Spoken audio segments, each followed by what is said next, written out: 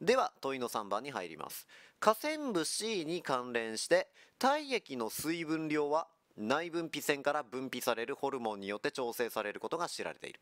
その内分泌腺とホルモンとの組み合わせとして最も適当なものを次の1から6のうちから1つ選べとあります、ズバリ、教科書レベルに載っているホルモンそれからどこから分泌されますかっていう組み合わせこれが分かってるかっていうことを聞かれる問題です。ここに線引いてください。体液の水分量。水分ですね。水のことに関するホルモンがどれだったかなということを思い出してくれればいいです。順に確認しましょう。バソプレシン。ズバリ腎臓における、えー、水分。水の再吸収。これに関わるホルモンだったということを覚えていればいいと思います。チロキシンいわゆる甲状腺から分泌される細胞の代謝に関わるもの、えー、これだったというふうに覚えていればいいです。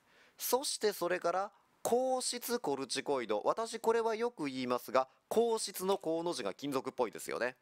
えーと、といわゆるナトリウム。などの再吸収に関わるんですよね。